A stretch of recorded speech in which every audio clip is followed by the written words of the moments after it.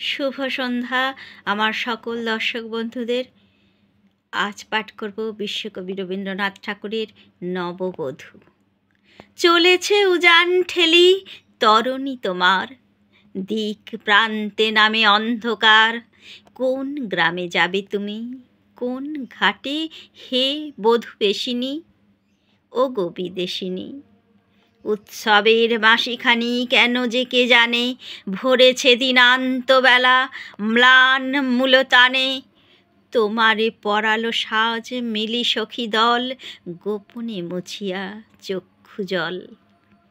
মৃদু স্রোত নদীখানি ক্ষীণ কলকলে, স্তিমিত বাতাসে যেন বলে, কত বধূ গিয়েছিল, কত কাল এই স্রোত বহি তীব্র পানে চাহি।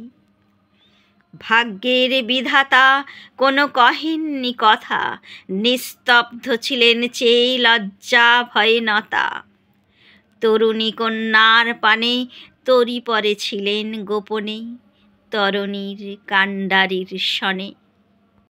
কোন টানে জানা হতে অজানায় চলে, আধো হাসি, আধো অশ্রু জলে।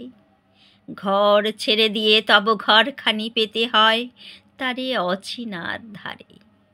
ওপারের গ্রাম দেখো, আছে ওই চেয়ে বেলা ফুরাবার আগে চলো তরিবে। ওই ঘাটে কত বধূ, কত শত বর্ষ বর্ষ ধরি ভিড়ায়েছে ভাগ্য ভীরু তরি। জনে জনে রচি গেল কালের কাহিনী। অনিত্যের নিত্য প্রবাহিনী জীবনের ইতিবৃত্তে নামহীন কর্ম উপহার রেখে গেল তার। আপনার প্রাণ সূত্রে যুগ যুগান্তর গেঁথে গেঁথে চলে গেল না রাখি স্বাক্ষর। ব্যথা যদি পেয়ে থাকে, না রহিল কোনো তার ক্ষত। লোভিল মৃত্যুর সদাব্রত। তাই আজি গধূলির নিস্তব্ধ আকাশ পথে তব বিছালো আশ্বাস। কহিল সে কানে কানে, প্রাণ দিয়ে ভরা যার বুক, সেই তার সুখ।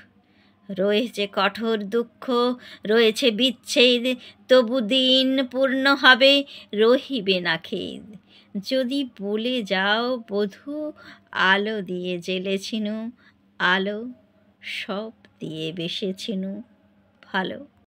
কবিতাটি ভালো লাগলে অবশ্যই লাইক, কমেন্ট, শেয়ার করবেন আর সাবস্ক্রাইব করে পাশে থাকা বেল আইকনটাকে প্রেস করতে একেবারেই ভুলবেন না। সবাই ভালো থাকুন, সুস্থ থাকুন, সাবধানে থাকুন, আমার পাশে থাকুন, সাথে থাকুন। সবাইকে অনেক অনেক ধন্যবাদ জানিয়ে আজকের মতো কবিতা পাঠ এখানেই শেষ করলাম।